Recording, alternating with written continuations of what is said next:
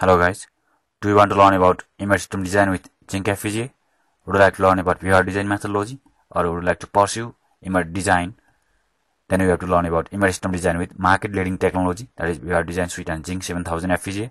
This environment, design tool and FPGA are heavily preferred for automotive, industrial and IoT etc. applications. So we have created the course of embedded system design with Xilinx Vivado design suite and Zynq FPGA.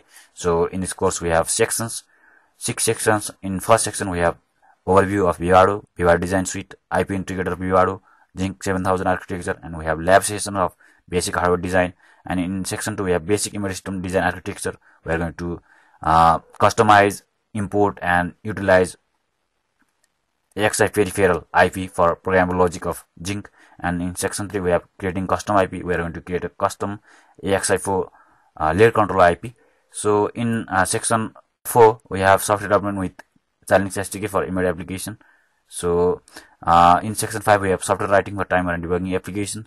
So we are going to utilize timer API and in section 6 we have configuration bootloading with Zynq so we are going to create a bootable file uh, target for SD card and QSPI flash from our application project. After completing this course, you will be able to describe and explain about Vivado design methodology, Zynq 7000 architecture, and you will be able to rapidly active embedded design applications target for ARM processor of Zynq, and you will be able to design Vivado API based applications and target and implement that design for ZedBoard, that is Zynq FPGA. So you will be able to create a custom AXI slave layer control IP in uh, VHDL, and you will be able to utilize software and debugging features of SDK and you will be able to utilize timer resources of processing system and you will be able to create a bootable system capable for booting from SD card and QSPI flash. So guys sign up for the course and meet you in the course. Thank you.